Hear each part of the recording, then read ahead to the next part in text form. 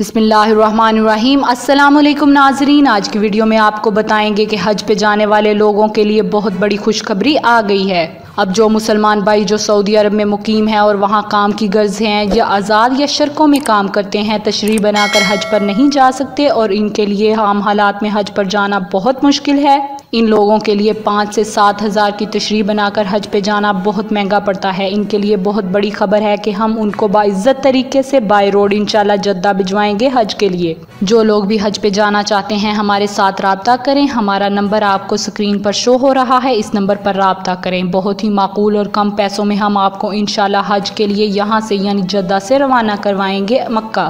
اب کوئی بھی مسلمان بھائی جو حج کا خواہش مند ہے اور تشریح کے پیسے افورڈ نہیں کر سکتا اور سعودی عرب میں کام کر رہا ہے، چاہے وہ کسی بھی شہر میں مقیم ہے، وہ جدہ میں ہمارے پاس آئے اور ہم سے رابطہ کرے۔ ہم انشاءاللہ اس کو حج کے لیے جدہ سے روانہ کروائیں گے۔ ناظرین، ہم آپ کو یہاں ایک اہم بات سے آگاہ کرتے چلیں کہ آپ کا کام مکمل ایشورٹی اور گارنٹی کے ساتھ ہوگا۔ آپ کو لیگل طریقے سے حج کے لیے روانہ کیا جائے گا۔ ناظرین، یہ تھی آج کی ویڈیو۔ اس کے بارے میں آپ کا کیا کہنا ہے؟ کمنٹ سیکشن میں اپنی رائے کا اظہار ضرور کیجیے گا۔ اب تک کے لیے اتنا ہی۔ جزاک اللہ۔ بسم اللہ الرحمن الرحیم۔ السلام علیکم ناظرین۔ آج کی ویڈیو میں بات کریں گے عید الاضحیٰ کے حوالے سے۔ خبر کے بارے میں خیبر پختونخوا میں عید الاضحیٰ بھی الگ الگ منائی جانے کے امکان ہیں۔ مسجد قاسم علی خان کا اجلاس یکم اگست، جبکہ مرکزی رویت حلال کمیٹی کا اجلاس دو اگست کو ہوگا۔ پشاور سے خبر ہے کہ خیبر پختونخوا میں دو الگ الگ عید الفطر منائی جانے کے بعد عید الاضحیٰ بھی دو بار منائی جانے کا امکان ہے۔ مرکزی رویت حلال کمیٹی کا اجلاس دو اگست کو، جبکہ مسجد قاسم علی خان کی مقامی رویت حلال کمیٹی کا اجلاس یکم اگست کو مفتی شہاب الدین پوپلزئی کے زیر صدارت منعقد ہوگا۔ اس کے بعد چاند دیکھنے کی شہادتیں مصول ہونے کے بعد گیارہ اگست کو عید الاضحیٰ منانے کا اعلان کیا جائے گا۔ اگر شہادتیں مصول نہ ہوئی تو یہ الگ بات ہوگی۔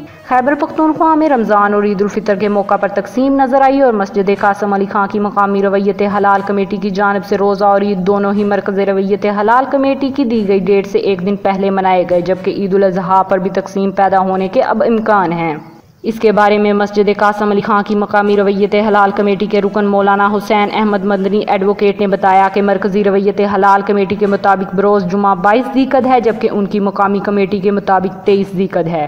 ناظرین، مقامی کمیٹی کے مطابق زیقت کا آغاز حلال کمیٹی سے ایک دن پہلے ہوا تھا۔ انہوں نے کہا تھا کہ اسی مناسبت سے مرکزی رویت حلال کمیٹی کا اجلاس نتیس زیقت با مطابق دو قلط کو ہوگا، جبکہ جامعہ مسجد قاسم علی خان کا اجلاس نتیس زیقت با مطابق یکم اگست بروز جمعرات کو منعقد ہوگا۔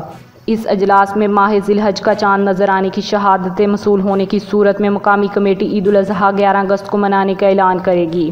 تاہم اگر ماہ ذی کا چاند نظر آنے کی شہادتیں مصول نہ ہوئیں تو اس صورت میں مقامی کمیٹی بارہ اگست کو عید کرنے کا اعلان کرے گی۔ ناظرین، یہ تھی عید کے حوالے سے ہماری تازہ ترین خبر۔ اس کے بارے میں آپ کا کیا کہنا ہے؟ کمنٹ سیکشن میں اپنی رائے کا اظہار ضرور کیجیے گا۔ اب تک کے لیے اتنا ہی۔ جزاک اللہ۔